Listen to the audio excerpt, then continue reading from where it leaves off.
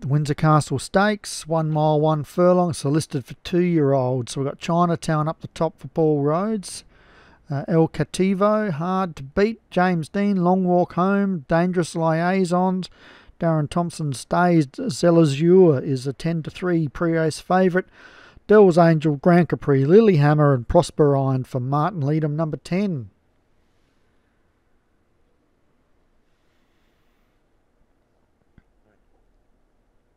Racing.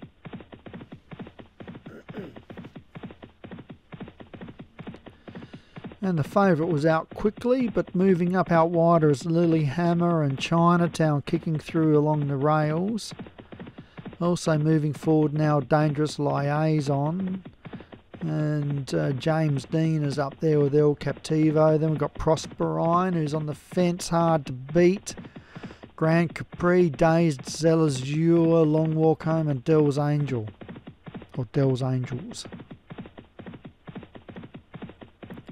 It's Lilyhammer leading by two and a half at the six furlong to El Cativo.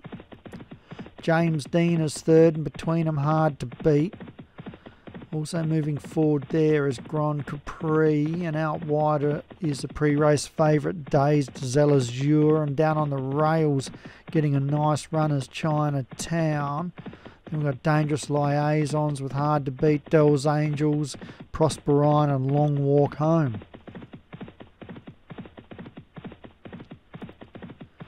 So Lilyhammer making every post a winner.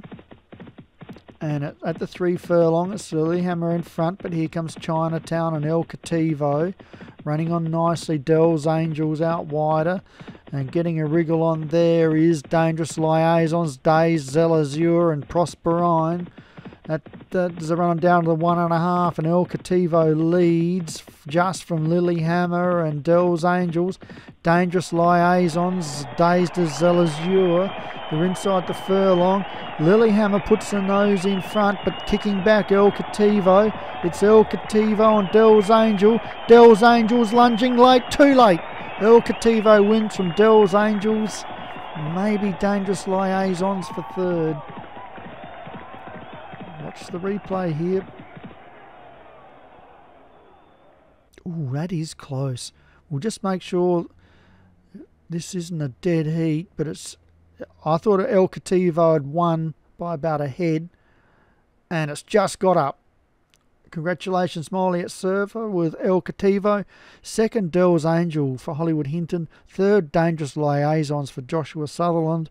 Fourth was Lilyhammer for Carl Aragonte, ran a very cheeky race. And fifth was Dazed Zelazure for Darren Thompson, who was the favourite.